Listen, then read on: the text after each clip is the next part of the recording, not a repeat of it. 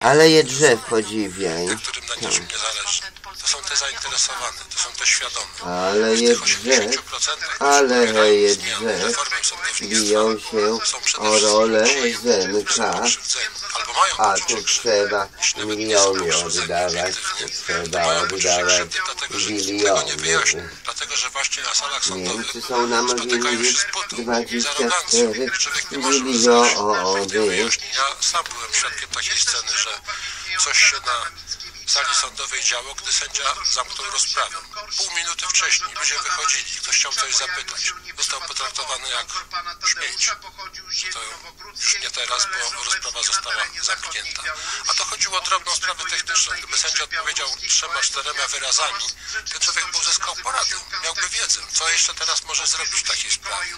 Odrobina życzliwości, nic więcej. A tu nie, bo nie.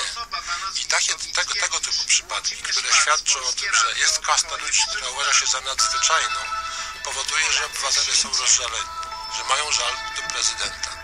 Nie ma ustaw, które byłyby przyjęte po roku 89, bo ten okres oceniamy, w takim trybie i w takiej postaci, że nikt by się nie mógł do tych ustaw przyczepić, że nie byłoby uchybień, nie byłoby sprzeczności, nie byłoby rażących odstępstw od tego, co powinno być. Wszystkie ustawy są w jakiś sposób łomne. Ja przez 10 lat pracowałem jako urzędnik państwowy na kierowniczym stanowisku w Urzędzie do Spraw Kombatantów i Osób Represjonowanych od 1992 Rada roku. Federacji Polski to świat. Została przyjęta rok wcześniej, w Duma radziecka. 1991 roku. Przez 10 lat sprawowania funkcji w tym urzędzie ta ustawa została bodajże 20, chyba 2 czy 3 razy znowelizowana. Czyli cały czas były braki i te braki nie, załatwiane, nie były załatwiane w ten sposób, że zróbmy raz wszystko porządnie, skoro w praktyce się okazało po miesiącach czy pierwszych kilku latach funkcjonowania, że ta ustawa jest, uje, jest ułomna, że ma rażące braki, że pewne sprawy są niewyjaśnione, później to trafia do sądu, to się ciągnie latami. Można to poprawić. Można przyjąć nową, jednolitą ustawę. Dokumenty katyńskie zostały sfałszowane.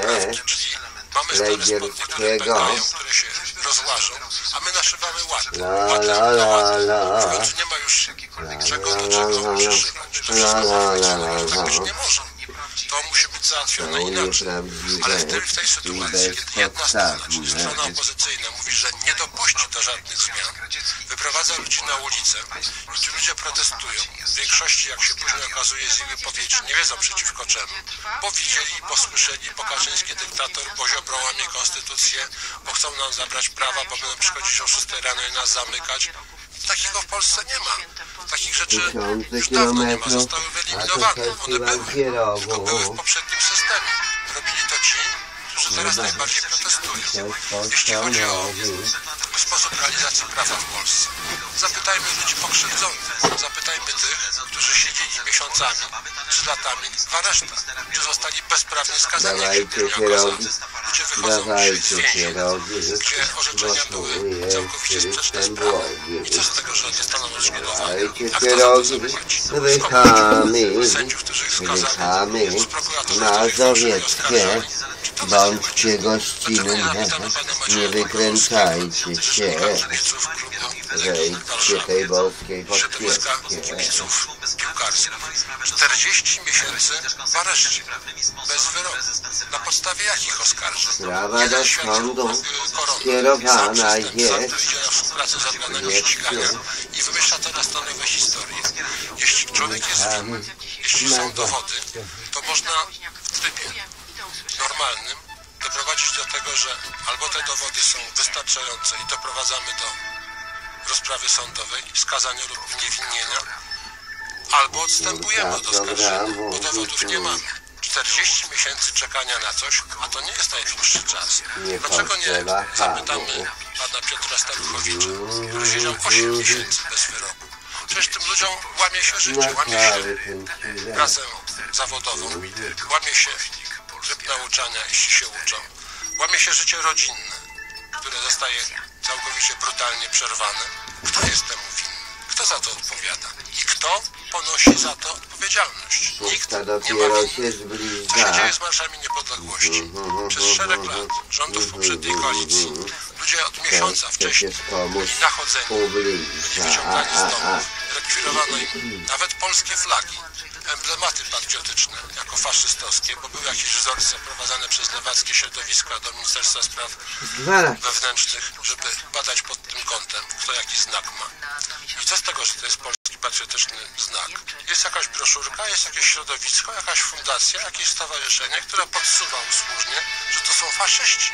Trzeba ich ścigać. I organy, które są powołane do tego, żeby obywatela bronić, nie bronią obywatela, tylko go szykanują. Zabierają mu te oznaczenia. I te ataki brutalne na Marsze Niepodległości, bicie ludzi, wyciąganie ludzi z autokarów wcześniej, spisywanie wielokrotne, nachodzenie rodziców, jeśli to były osoby niepełnoletnie, że mają nie jechać, bo tam bicie rozmicie, tam grozi. Wszystko w starym stylu. Co się stało? Zmienia się władza. Dwa ostatnie Marsze Niepodległości. 100 tysięcy ludzi. I nie ma ekscesu. Nie ma incydentów. Nie ma rzucania kamieniami. Nie ma strzałów w kierunku maszerujących, demonstrujących ludzi, ale demonstrujących postawę patriotyczną, nic więcej. Tam przychodzą rodziny, rodzice z małymi dziećmi, z wózkami. Tam są goście zagraniczni, przyjeżdżają Polacy z innych państw świata. Przyjeżdżają ludzie innej narodowości, innego obywatelstwa. Węgrzy, Włosi, Brytyjczycy. Zachwyceni tym, co się w Polsce dzieje. Co widzieli przez te poprzednie lata? Ataki państwa na własnych obywateli. Są odpowiedzialni? Kto są podpalał tylko budki wartościowe, które rzekomo Czego ty były chcesz? efektem działań To nie bandziorów jest z Marszy złe. Niepodległości? Stare Gdzie to są tylko urzędnicy, są którzy o tym mówili, Czego jedząc, ty pijąc chcesz? na nasz koszt Czego ty chcesz? Usowy i przyjaciół w miejscach tylko nie, zostali nagrani. Ale z tego widzimy, że jeśli tam to było w miejscu w sumie publicznym, to jakie biesiady i jakie rozmowy mają miejsce w miejscach bardziej strzeżonych, bardziej dyskretnych. To wszystko wychodzi na jaw. Zróbmy coś takiego, żeby był odpowiedni nacisk społeczny, że nie podomici wychodzą z drugiej strony, nie obrońcy starego porządku, że oni nie chcą zmian. Oni o to walczą i prezydent ustępuje. Uważa, że dla dobra lepiej ustąpić małej, znikomej mniejszości kosztem większości, niż coś się ma w Polsce dziać. Niech wyjdą Niech powiedzą, panie prezydencie, Powstania Warszawskiego. jeden z projektów ustaw, że Muzeum Powstania Warszawskiego. to ja te ustawy Muzeum Powstania Warszawskiego. to coś gra. nie pójdzie No na i ugodę Przecież komu zmian nie będzie do tego? część tych ustaw, część tych zapisów będzie martwa, ale to zostało przeprowadzone. I w nowym projekcie, który się pojawi, który poszedł do, i został przegłosowany, poszedł do podpisu prezydenta, to było. I pan prezydent nie dotrzymał słowa. Niestety to trzeba głośno i wyraźnie powiedzieć. Uważa pan Radosław Kluza. Odbierzmy kolejny telefon, bardzo proszę. Przepraszam, szczęść Boże, Podkarpacia. Witam serdecznie ojca prowadzącego i zaproszonego gościa. Y, Chciałam powiedzieć na temat y, pracy sądu w roku Jadwiga Stanicki 1948, kiedy to mój powiedziała, tato został że aresztowany przez jest przemyślu pod pretekstem posiadania broni. Sąsiad po prostu To do nie nich zabrał zbuduje, jakie że mądrości znany wskazała. Oczywiście tato został Jadwiga aresztowany, Stanicki przeszedł i najmądrzejsza jest, tak jaka jak Duda to Hała. człowieka i naturę, mówiąca o tym, że człowiek jest taką nieodzowną częścią. Daje mu spokój, wrażenia, emocje. Mogą tutaj Państwo przyjść.